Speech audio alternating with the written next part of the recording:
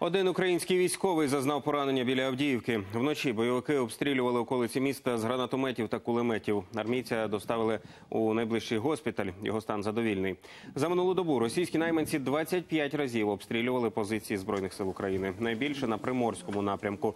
Там бойовики ввечері гатили зі стрілецької зброї та гранатометів поблизу Старогнатівки та Водяного.